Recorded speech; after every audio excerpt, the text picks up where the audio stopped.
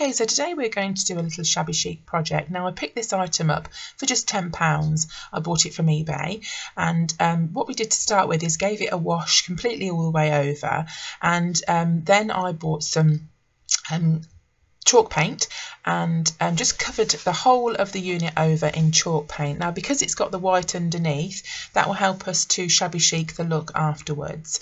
So that's the paint that I used and um, just gave it all one coat all the way over the top.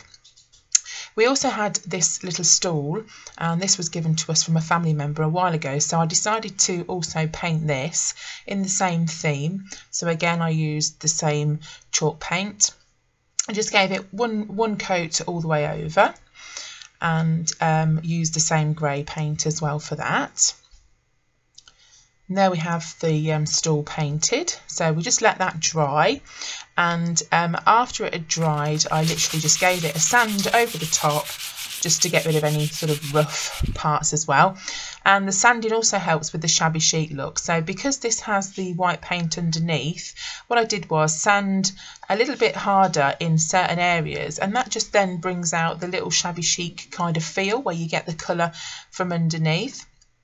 So you just do that in various places. Um, you don't do it all the way over. It's just sort of like intermittent all the way round, if you see what I mean.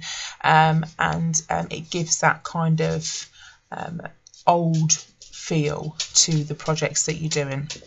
So um, any sort of rough bits of paint I also sanded off as well and we also painted the knob and um, I've put some I've decorated that as well so what I've done, I've also got a tutorial to show you how to decoupage the, um, put the napkins on.